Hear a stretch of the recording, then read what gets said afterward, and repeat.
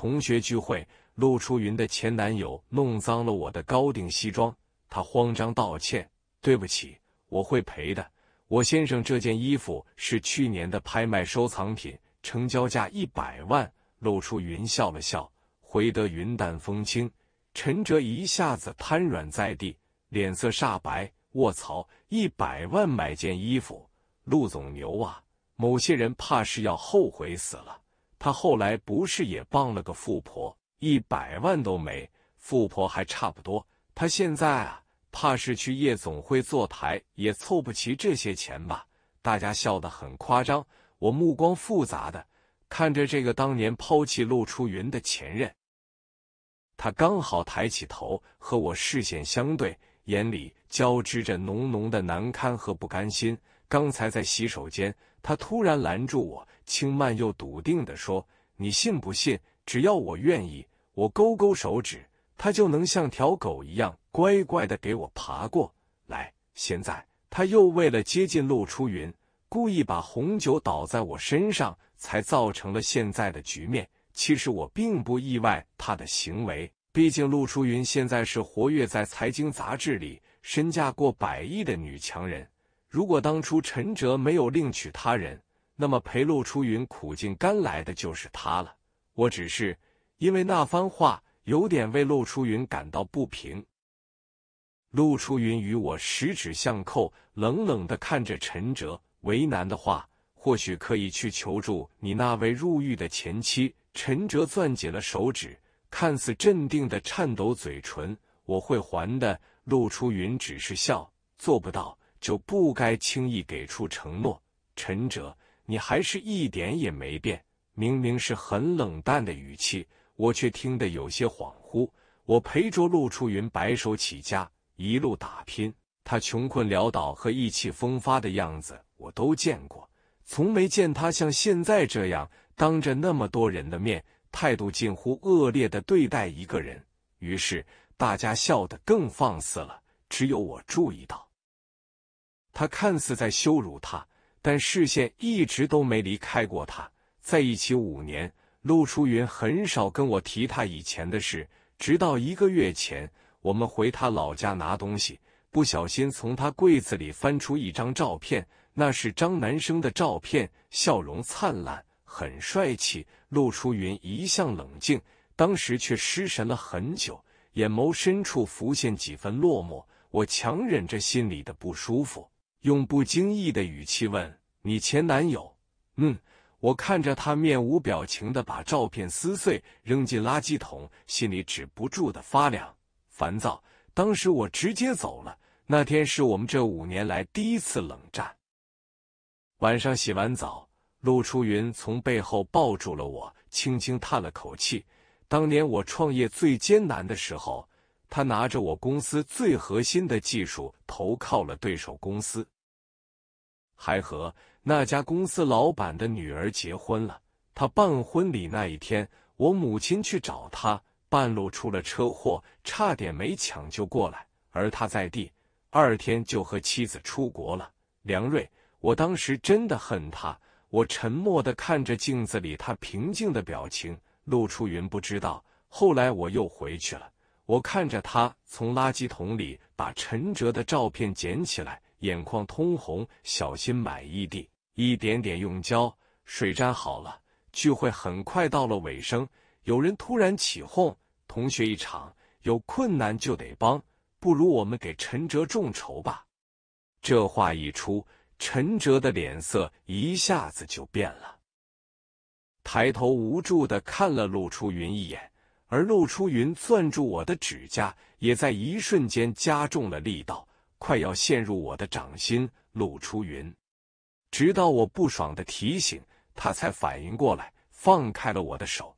我看着手上被掐出的印子，浑身发寒。挑事的人嘻嘻笑着。目光偷偷瞄着陆初云的反应，见他没有反对的意思，很快就又起哄着开始叫价五块。这可是曾经的细草，多少女生的梦中情人，能不能大方点？我捐二十。一个接一个的人出价，气氛空前的热闹起来。仿佛把陈哲当成拍卖会上待价而沽的商品，又或者是菜市场任人宰割的鱼肉。陈哲面色苍白如纸，眼睛已经发红，但始终一言不发。陆初云沉默地看着他，心如死灰的表情。到最后，大家看好戏似的把尊捐到的一百块零钱送到陈哲手上时，他却只是呆滞地说：“谢谢。”众人不敢置信，他还真的收了，哈哈哈！从前那么骄傲的男神，现在却活得像个乞丐一样。陈哲置若罔闻，双手捧着那些钱，走到陆初云面前，姿态低入尘埃。这里是一百块，陆总，剩下的钱可不可以再宽限我一段时间？卑微恭敬的模样，跟我在照片里看到的那个张扬高傲的男生截然不同。众人有一会儿的沉默，面面相觑，我们是不是有点过分了？他这几年过得也不容易。陆初云没有说话，一直盯着他。我胸腔突然闷闷发痛，很容易就看穿了他冷漠外表下的那抹烦躁。他期望陈哲跌入泥泞，想要把他的尊严踩在脚下。真的到了这一刻，他却又对他失去傲骨、接受施舍的坦然感到不舒服。是不舒服，还是心疼呢？正愣的片刻。突然，有人对视我们惊恐的大喊了一声：“快躲开，灯要掉下来了！”我下意识抬头，发现头顶上的吊灯摇摇欲坠，似乎马上就要掉下来。而我们三个人正好站在吊灯下。初云，我伸出手想拉开他，就看到陆初云猛地扑向陈哲，拉着他向旁边倒去，脑袋顿时嗡的一声。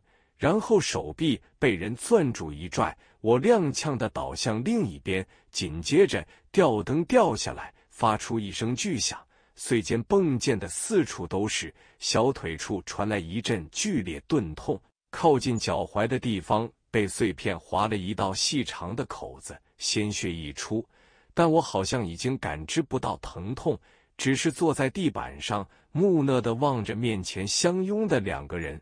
四周一片窃窃私语，窗外的月光和别人微妙的目光洒在我身上，寒凉如白霜。直到救我的那人关心的问：“先生，你没事吧？”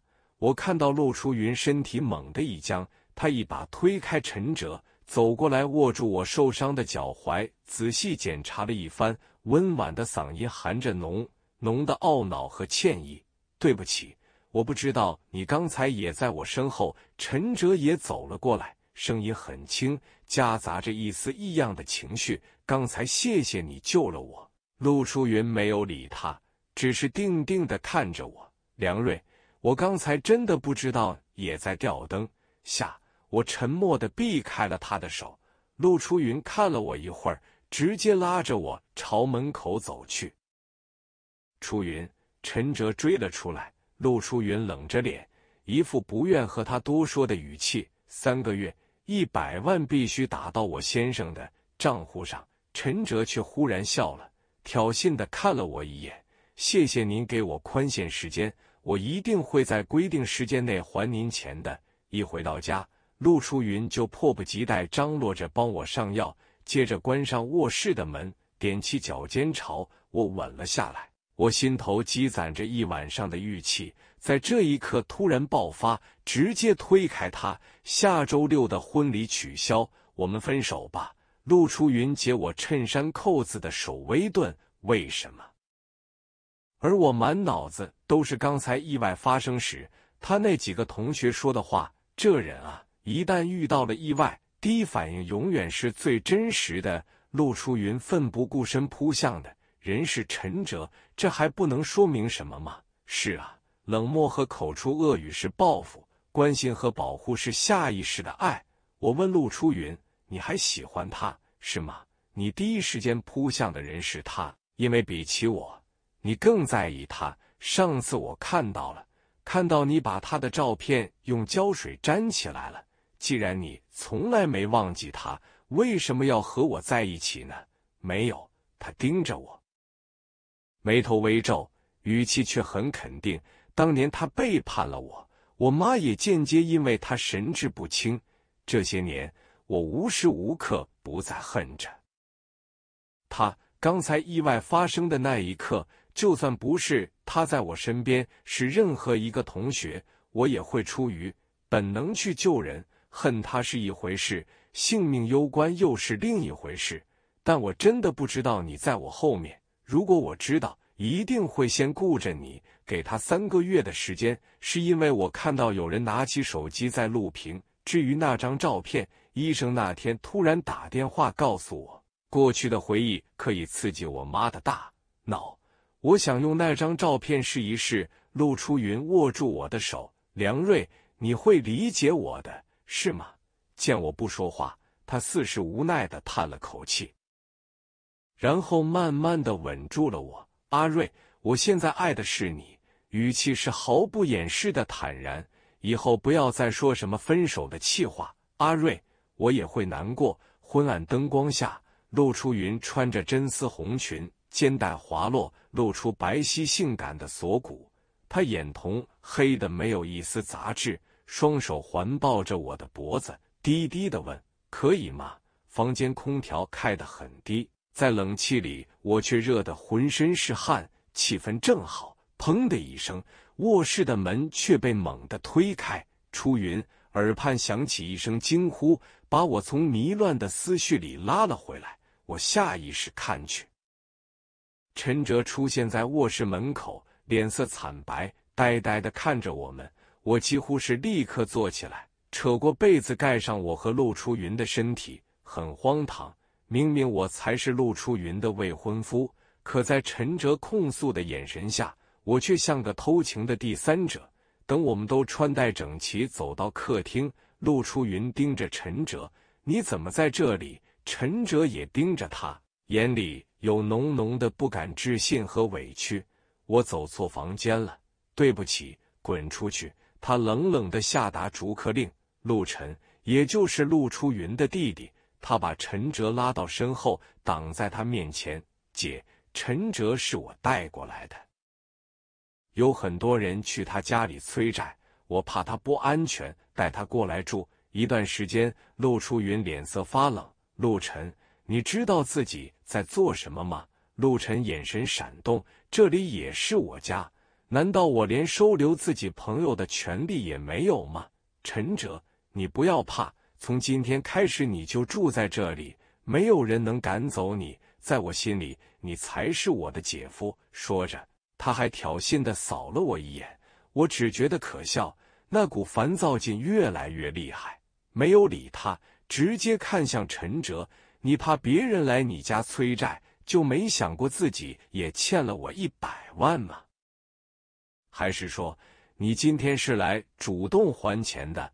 我打开收款码，那好，你现在还钱吧。够了！陆晨抬手打过来，手机啪的一声掉在地上。陆晨转头看向陆初云，眼神复杂。姐，我知道你恨陈哲，但一切都是有理由的。你知不知道当年陈哲像是才缓过神来，猛地拉住陆晨的手臂，通红的眼睛带着祈求。别说，一瞬间没人说话，直到陆初云忽然开口：“当年什么？”可是陆晨没来及说什么，陈哲突然晕了过去。姐，陈哲低血糖犯了，今晚就让他在这住吧。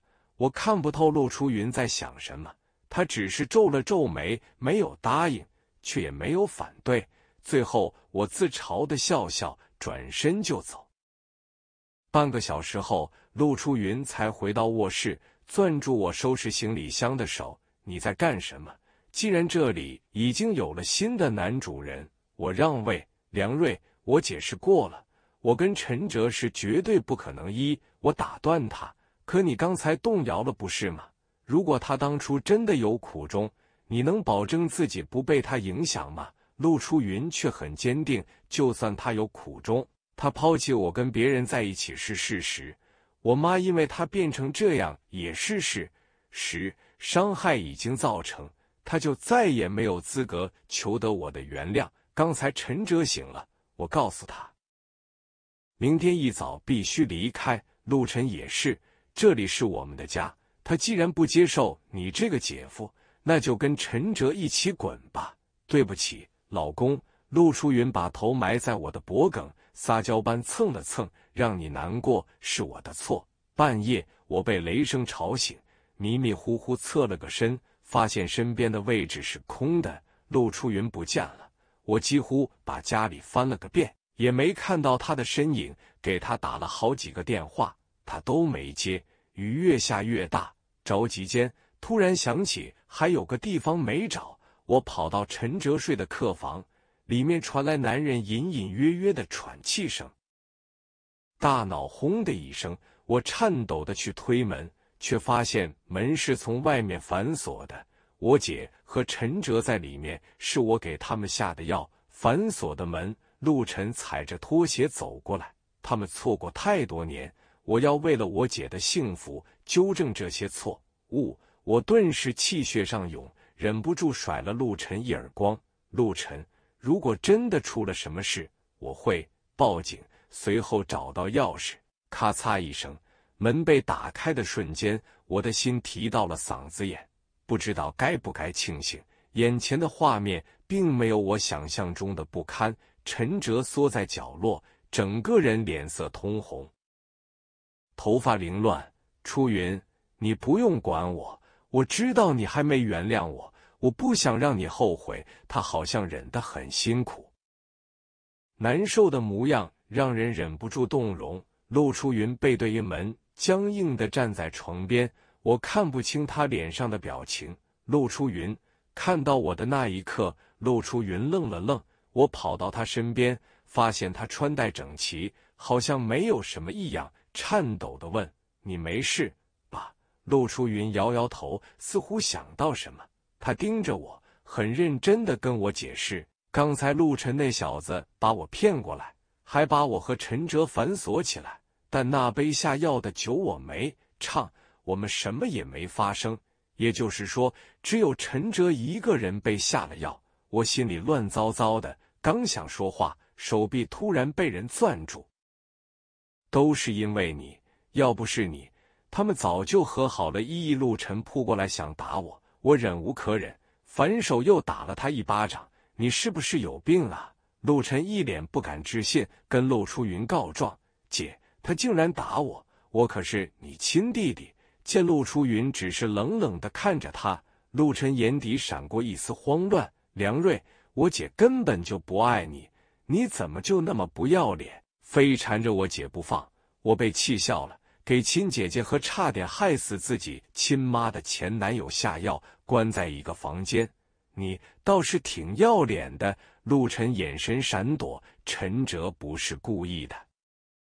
他够了。陆初云突然出声，用最冷漠的神情和语气说了句：“不管他有什么理由，我都不想再听。”陆晨脸色一白：“姐，你一定会后悔的。”陆初云不为所动。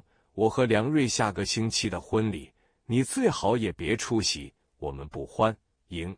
最后，救护车把陈哲接走了。他离开的时候，用很轻的声音说：“初云，不管你相不相信，我当年从来没想过伤害你。”陆初云把手交给我，脸上看不出一丝触动。我告诉陆初云关于结婚的事，我想再考虑一下。他没再坚决拒绝。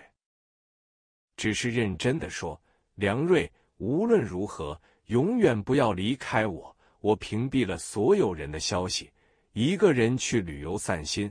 没想到当地突然发生了地震，更没想到的是，陆初云不顾余震的危险，风尘仆仆的赶了过来。我没受什么伤，反倒是他被一块告示牌砸中胳膊，缝了六针。见我一副急躁的模样，他忍着伤安慰我。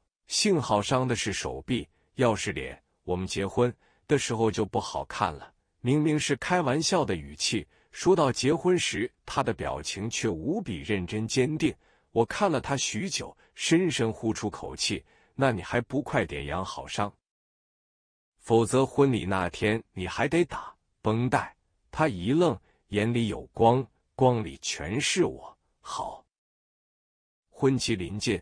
我忙得晕头转向，派婚吵照那天，陆初云在里面是婚纱。陈哲给我打来电话，那天我早就知道陆晨下了药，我是故意唱下去的。他还说了很多，威胁我说如果不把陆初云还给他，他就自杀。我是真的觉得他有病，冷冷回了一句：“那你就去死吧。”后来他就再也没打来电话，直到婚礼当天，有人给我发了一条匿名短信：“要不要打赌？今天你们结不了婚。”笃定的语气，仿佛在简单的陈述事实。很明显，就是陈哲发的，心里莫名烦躁。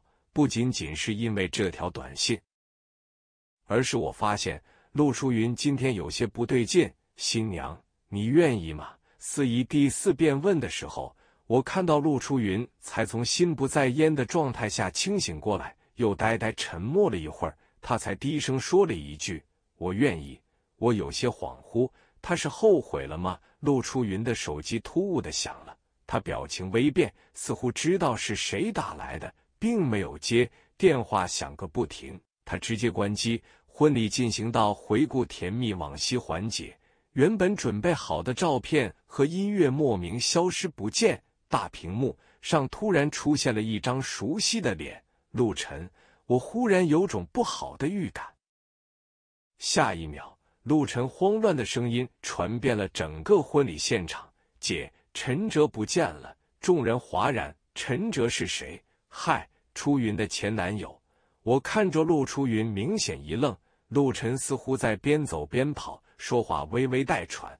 刚才他整个人很不对劲，说要给你准备结婚礼物，然后就不见了。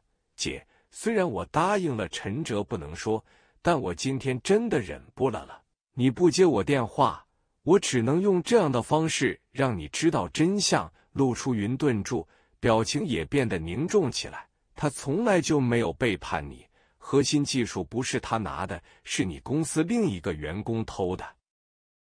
他是故意把罪责揽在自己头上的，因为陈哲当时确诊了白血病，陆初云僵在原地。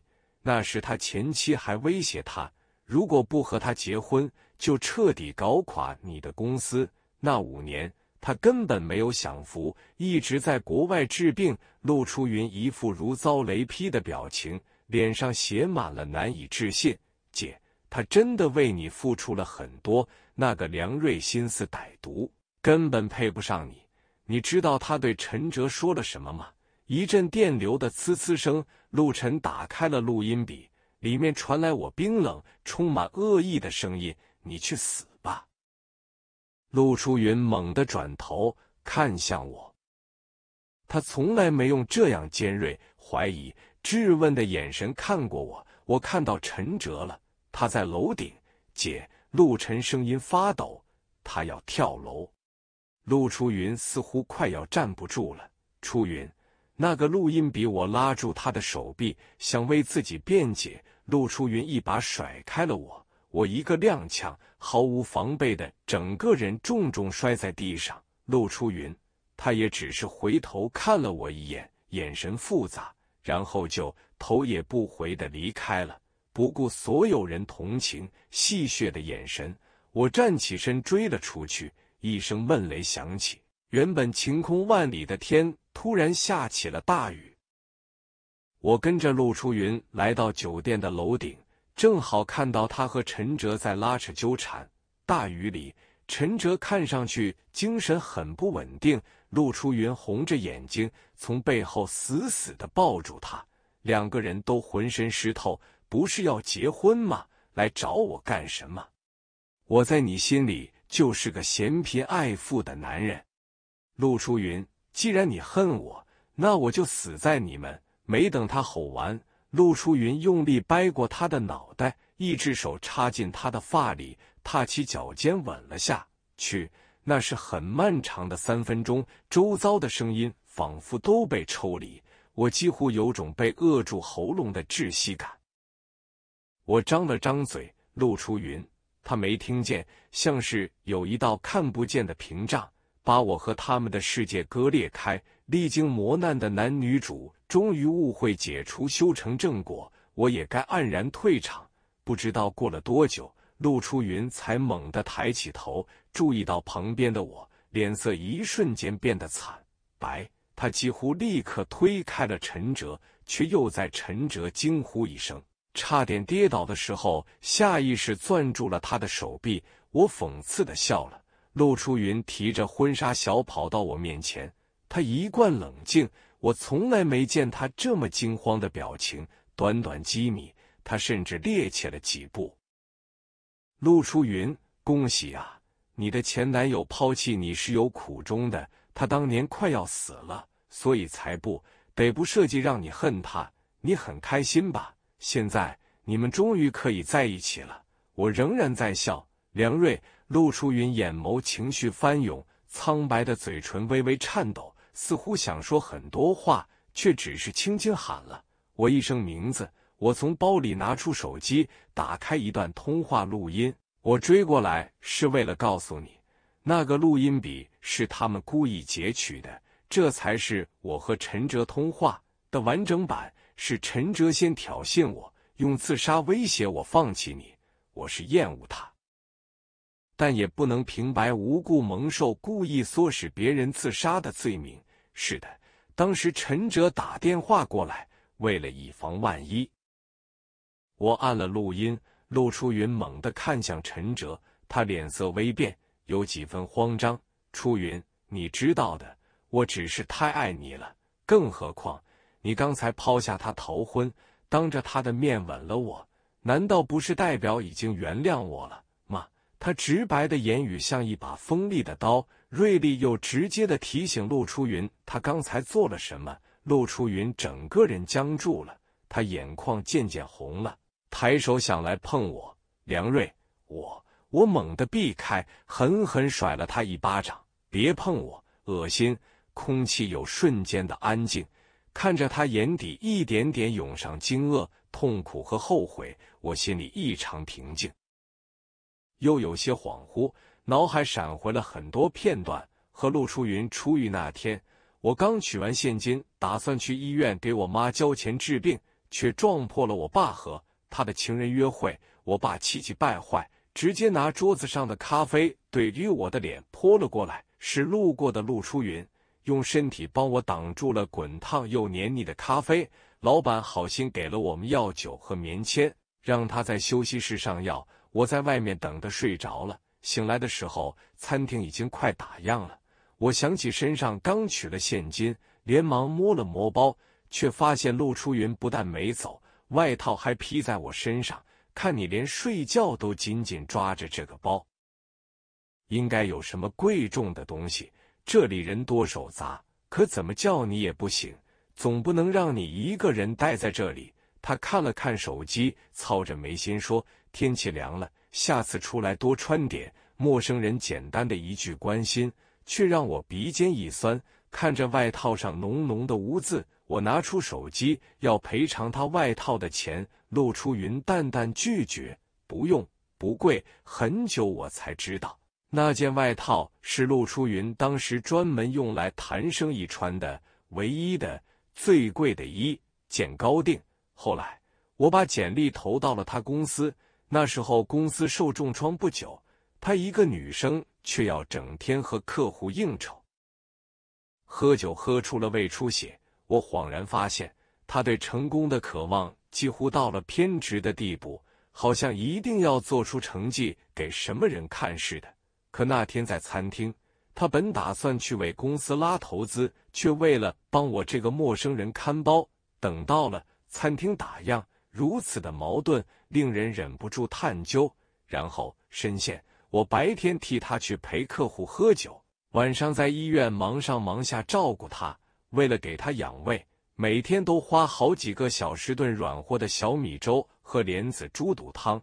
结果他出院那天，我因为过劳进了医院。他坐在床边看了我很久。你是不是喜欢我？我傻傻的回了一句。你现在才看出来吗？陆初云一愣，垂眸笑：“我确实够笨的。”后来，他在公司准备了一场盛大的告白，还陪我去商场挑了件我看中了很久的西装。他看着我感动的表情，笑：“那么容易满足？等公司做到上市，我要送你一件价值一百万的西装。”我也笑，珍重的吻了吻他的额头。当时的我怎么也想不到，后来那条一百万的西装会被陈哲毁掉，成为他和陈哲破镜重圆的工具。我们第一天同居那晚，他指甲深深陷入我的后背，声音痴痴又低迷：“阿瑞，永远别离开我。”半夜我起来，却发现他在阳台吹风。浓黑的夜色下，他穿着清凉的真丝吊带，刘海遮住了他精致的眉眼。与平时冷静自持的女总裁不同，那一刻的他脆弱又迷人。现在想想，他应该是思念陈哲吧。这五年，我陪着他经历了无数挫折和打击，始终不离不弃。他也对我做到了完美。女朋友该做的一切，可陈哲一出现，我还是满盘皆输。我离开楼顶的时候，陆初云拉住了我的手腕，声音里带着哀求：“别走。”这次我没马上挣脱，看了他一会儿，然后轻轻的笑了。陆初云，我们在一起五年，我欣赏你的才华，敬佩你的毅力和努力，心疼你的遭遇，我心疼你，爱你。无论发生什么事情，我都没想过离开你。可今天我突然发现，你配不上我。这五年，你或许对我有点感情，可在你心里，这份感情太浅薄，掺杂着排解剂、莫的消遣和相依为命的感激，跟你和陈哲之间轰轰烈烈的爱情相比，根本不值一提。可我告诉你，我的爱同样真挚热烈。同样值得真心相待，我只是爱错了你。陆初云脸色白了几分，他动了动唇，却似乎无从辩解，只能沉默的、难过的看着我。我一点点掰开他的手，语气冷漠又绝情，不敢承认自己还爱着前男友，肆无忌惮伤害现男友之后，又不肯放手。陆初云，我看不起你。我很快搬了出去，暂时住进了酒店。这几天，陆初云没有来找过我，应该是决心和陈哲复合了吧？我想，周末我妈给我发了条微信，让我回家住。我只觉得疲惫。五年前，我把我爸出轨的证据交给我妈，她抱着我哭了一晚上，决定离婚。没想到，我爸被那个情人的老公肆意报复，打成了高位截瘫。那个情人不要他，他就死皮赖脸的来求我妈。如果你也不要我，那我还不如跳楼死了算了。我妈性子柔弱又容易心软，在我爸一哭二闹三上吊之后，还真的答应了他不离婚。梁瑞，他毕竟是你爸，我当时直接气哭了。他算哪门子的爸呢？从小到大都对我非打即骂。说算命的说我是个扫把星，因为我他才破产。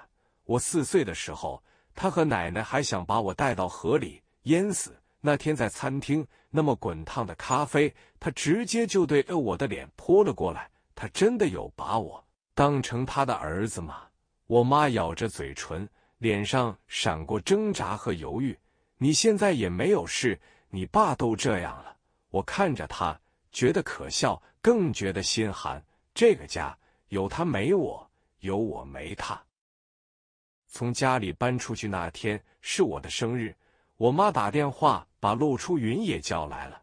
她在后面怯怯的祈求：“你跟梁瑞一定要好好的。”陆初云扫了他一眼：“当然，我会给他一个家。”那天晚上，陆初云给我煮了一碗长寿面，泪水不断掉进面里。我一个大男人。哭到几乎无法支持，他不要我了。隔着蒸腾的水雾，我听见他说：“我要你。”那时我以为我和陆初云会有一个家，一个只属于我们的家。大概是因为我不回微信，我妈给我打来了电话。她赶在我挂断之前说了句：“我把梁栋赶走了。”梁栋就是我爸。我趁着他睡着。叫人把他绑起来送回了老家。你为什么这么做？电话那端沉默了很久。这五年，你从来不肯联系我，逢年过节不回来看我，连婚礼都不邀请我。瑞瑞，我真的很想你。婚礼那天我在现场，你追着陆初云出去的时候，我也追过去了。我微微一愣，陆初云没发现跟在身后的我，而我也没发现跟在身后的他。妈都看到了，他们用录音笔诬陷你，他为了别的男人抛下你逃婚。这几天，妈一直都在想，你会不会来找妈，跟妈诉诉苦、撒撒气也好。但你都自己扛下去了。他的声音已经带了一丝颤意的哭腔。你受了那么多委屈啊，却一个人都没有说，一个人都不能说。然后我悲哀的发现，你从小到大都是这样。别人可以在妈妈怀里撒娇，你什么苦都打碎了往肚子咽。我这个妈真的做的很失败，妈不奢求你能原谅我，妈只想让你知道，如果你愿意再相信妈妈一次，以后有什么事可以和妈妈说。我没有搬去我妈那里，但应该也不会再刻意疏远他了。这么多年，我存了不少积蓄，还有陆初云公司百分之十的股份，足够我下辈子衣食无忧。我打算找个合适的地方买个房子，自己给自己一个家。这天看完房子，刚到酒店楼下，我发现有几个人对我指指点点的。他就是上热搜的那个梁瑞，长得还挺帅的。看照片时，他好像还唆使新娘的前男友自杀。听说他们当年就是他拆散的，狠人啊！我立马打开微博，发现那天婚礼发生的事情被人录屏发到了网上。还洋洋洒洒编造了很多关于我拆散他们的真相。当年偷走陆初云公司核心技术的人成了我，我跟陈哲、钱安联手拆散了他们。因为故事太过曲折狗血，吃瓜群众很快就顶上了热搜。爆料人还是实名制的，就是陈哲。我不明白他为什么要这么做，他明明都得偿所愿了。但疯子的脑回路。不是我能理解的。我第一时间选择了报警。做完笔录回来，我就被堵在了酒店楼下。做锁人那么多年，除了竞赛获奖和公司上市那天，我第一次被那么多狗仔和闪光灯包围。话筒直接对到我嘴边：“梁先生，听说您五年前威胁一个白血病人，逼迫他跟女友分手，在他治好后还唆使他自杀，是真的吗？”当然不，当然是真的。一道熟悉的男声从人群后转了过来，所有人的视线都看了过去，是陈哲。他憔悴了很多，衣服看上去也皱巴巴的，状态实在说不上好。梁瑞就是个插足别人感情的第三者，他在有钱有势。今天我也要勇敢的站出来，揭发他的恶行。他把网上编造的话又说了一遍，说完。还挑衅的看了我一眼，梁先生，当事人都当众指证你了，你还有什么可说的吗？我淡淡开口，指证也要讲究证据，没有证据，他就是空口造谣。好的，那么先生，你有证据证明不是自己做的吗？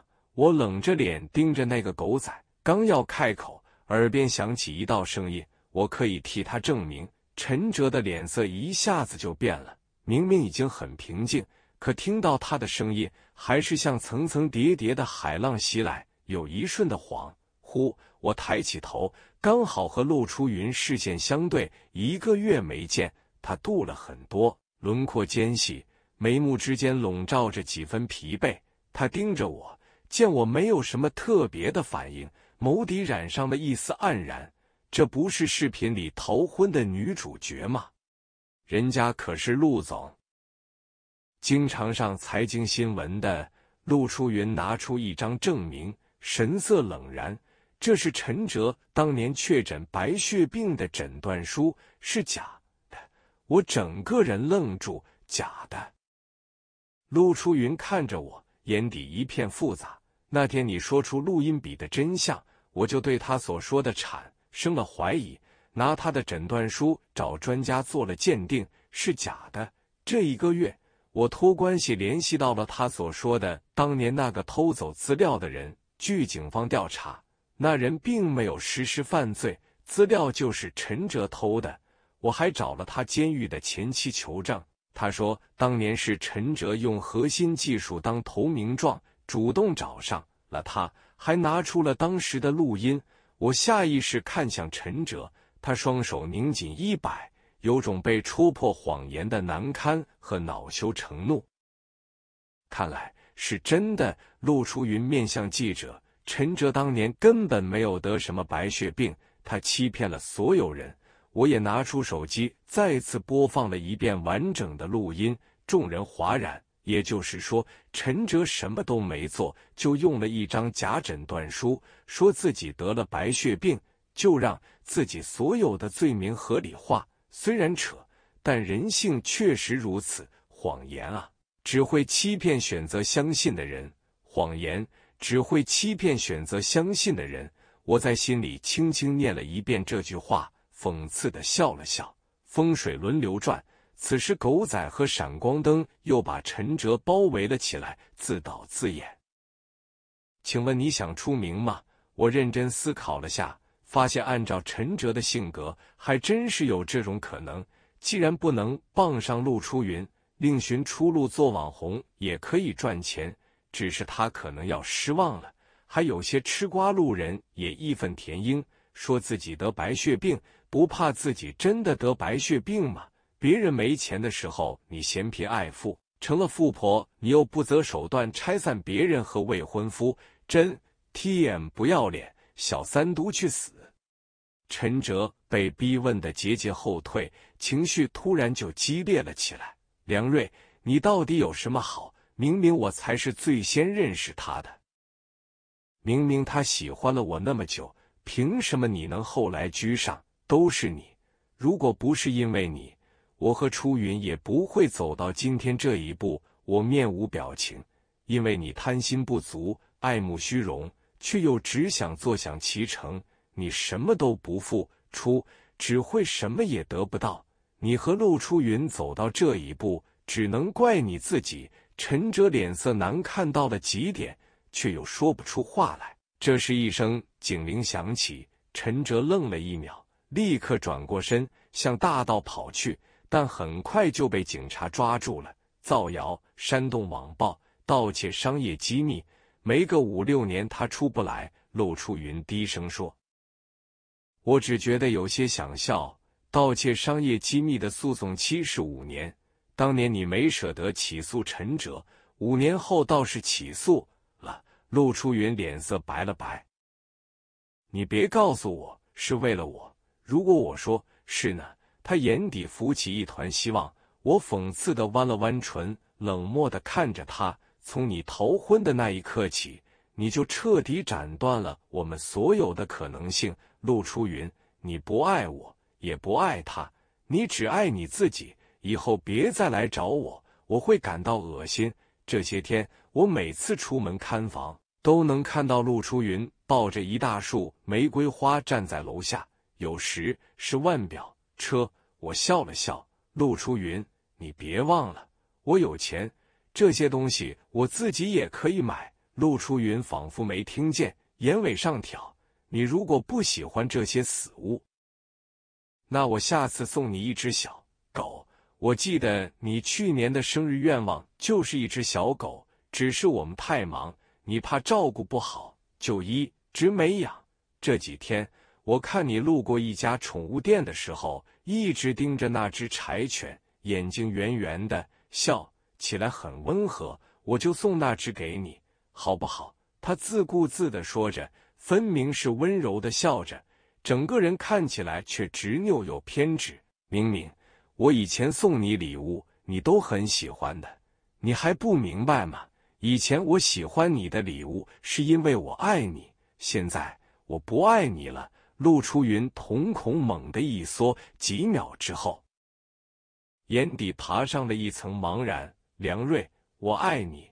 我只是冷冰冰的看了他一眼。转身离开了，大概花了将近三个月的时间，我终于拿到了属于自己的房产证。接下来几个月，我又忙着找设计师、装修、买家具。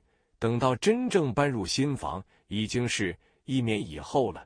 这一年，陆初云其实不怎么来找我，他正忙着公司内斗，焦头烂额。因为我把股份卖给了另一个持股百分之二十和他存在竞争关系的股东，我实在不想再和他有任何牵扯了。我妈过来帮我搞卫生，跟我说了很多事。先是说我爸和我奶奶在家乡互生怨怼。我爸甚至坐在轮椅上就跟奶奶打了起来，差点闹出人命。又说了一些跟陆初云有关的狗血八卦。陆初云他妈妈前几天恢复了神智，还爆出了一个惊天大秘密：当年他本不至于那么严重，是因为知道了一件事给气的。我被勾起兴趣，什么事？原来陆晨不是她的亲生儿子，当时她难产生了个死婴，她丈夫怕她伤心就抱了。一个孩子过来，但其实陆晨是她丈夫和情妇生的，而且陆晨一直知道这件事，确实狗血。不过按照他妈嫉恶如仇的性子，陆晨在家的日子恐怕不好过了。还有一件事，我妈犹豫了一下，我了然，陈哲真的得白血病了，你是怎么知道的？我表情平静。摸了摸柴犬的狗头，网上都传疯了，都说以后要谨言慎行，千万不要诅咒自己。再次看到陆初云，我正在楼下公园遛狗，和我的新女友宋满满一起。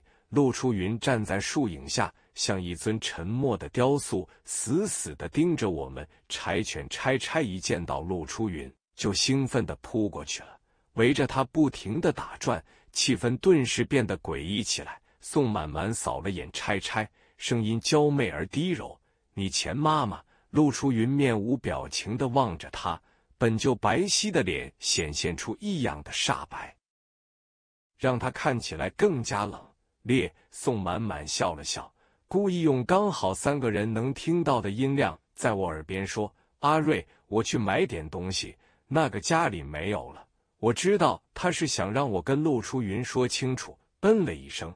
我目送宋满满离开，回头时陆初云已经走了过来，正静默地望着我，眼睛深如悬。我，你买了那只小狗？我说，对，我之前经常去店里看它，所以它记得我。我知道，他眉眼闪动了下。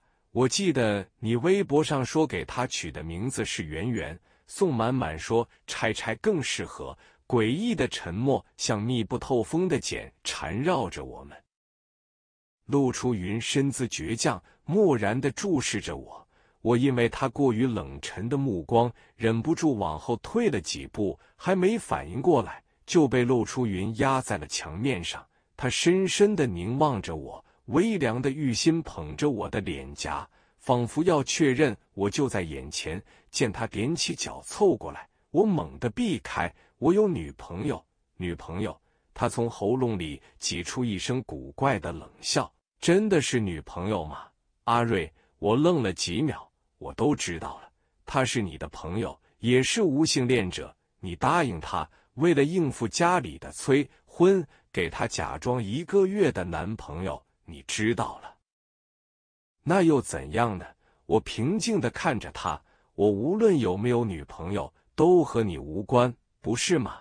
怎么会跟我无关？梁瑞，我爱你，我不爱你。陆初云眸色一沉，睫毛在轻轻颤抖，突然换了个话题。去年你故意把股份卖给夏至，就是为了让他有和我分庭抗礼的资本。你猜，我和夏至谁赢了？似乎不需要我回答。他轻笑：“你赢了。”我惊疑不定地看着他，梁瑞。我要把所有股份、资产都转给你。他紧盯着我，这样我就一无所有了。你能不能可怜可怜我？消消气。你疯了？你就当我疯了吧。陆初云就要凑过来索吻，我大力推开了他。陆初云沉默了一会儿，很平静的笑笑：“解气嘛，要不要再打我几下？我到底还是被影响了。”心里涌出一股难以遏制的烦躁。陆初云，你这样有意思吗？陆初云静静看了我半晌，想来碰我的手，还没碰到，我就抽出手背在了背后，他的手落了空，没有立刻收回来。我现在一碰你，你就会犯恶心，是吗？见我默认，他眼眶红了。梁瑞，我们之间为什么会变成这样啊？我摇头，慢慢推开了他，像是要把他推出我的世界。阿瑞，你不要离开我好不好？太迟了。陆淑云，你不爱我，你只是不甘心。不是的，下划线。陆淑云眼底微微猩红，里面是深不见底的悲伤。怎么会只是不甘心？梁瑞，你是全天下对我最好的人，我从来没跟你说过。我一直都知道，我爸在外面有女人，我妈也是睁一只眼闭一只眼，因为我长得跟我爸很像，他一直不喜欢我。后来有了陆展，他就一门心思放在了他身上。小时候，他带我们去自驾游，陆晨只是喊了声饿，他就火急火燎的抱着他走了。我被关在密闭的车里整整两个小时，要不是有路过的人看见。我可能就闷死。遇见你那天，我好像看到了小时候撞破父亲偷情的自己。只是你比我坚强，比我更勇敢。我不敢粉饰太平，破坏原本维持表面和平、实际岌岌可危的家庭。后来把你接走，说给你一个家。我是认真的。你一直想有一个家，我也是。我们最艰难的时候，公司的资金全部被套牢。我们去北京拉投资，没钱住宾馆，就找到了二十四小时的麦当劳。你点了一包薯条，让我躺在你腿上，说你对土豆过敏，把罗条都喂给了我。后来我才知道，那是你最喜欢吃的食物。为了因这个荒，你将近一年没吃过土豆的菜，直到我提前出差回来，看到你给自己做了一桌子的土豆。这些年和你相处的越久，我就越爱你。他停顿了一下，眉眼流露出痛苦和悔恨。对陈哲，我更多的是被抛弃的不甘心和被背叛的恨意。婚礼那天，我也不知道自己怎么了。听到他的理由，听到他要自杀，听到是你唆使的。我当时在楼顶看到你就后悔了。这一年，我无时无刻不在后悔。我不知道究竟要怎么做，怎么做你才能原谅我，阿瑞？对不起，真的对不起。你只会说对不起。下划线，我视线模糊，盯着黝黑的地面，乱成一团的脑袋在痛，跳跃的心脏也在痛。对的，其很难吗？阿瑞，我用手背抹了下眼睛，深吸口气，露出云：没用的。聚会上。你表面在羞辱陈哲，其实眼神一直没离开过他。你口口声声说恨他，可发生了危险，第一时间还是扑向他。后来你跟我解释了很多，好，因为我爱你，因为我只有你一个家人，所以我选择再相信你一次。一直以来，我对我们的未来都是憧憬的、明晰的。我想和你结婚，想和你生孩子。想组建一个只属于我们两个人的家庭，但你当时应该可以看得出，我对这段婚姻已经产生了不确定性，所以你跟我保证，就算陈哲有苦衷，你都不会动摇半分。可是后来呢？陆初云，我满是恨意的看向陆初云，见到的是他愧疚、难过、懊恼，无法改变过去的表情。可是有什么用？过去无法改变。伤害无法收回，多日来的委屈终于在这一刻爆发。你在婚礼那天逃婚了，他甚至连人都没出现，只是别人的一段话而已。你就为了他抛下了我。那个录音笔，我们在一起五年，你对我有过信任吗？你知道你当时是用什么眼神看我的吗？你一句解释都不给我，直接给我盖棺定论。后来呢？你甚至没察觉到我跟在你身后和陈哲在大雨里接吻。你说是陈哲欺骗了你，谎言只会欺骗选择相信的人。在你心底最深处，你是希望陈哲是真的有苦衷的吧？所以你让我怎么相信你是爱我的呢？我喃喃。陆初云，在我全心全意爱你的这五年，我都没办法肯定你是爱我的。那么我现在不爱你了，又怎么会相信你爱我呢？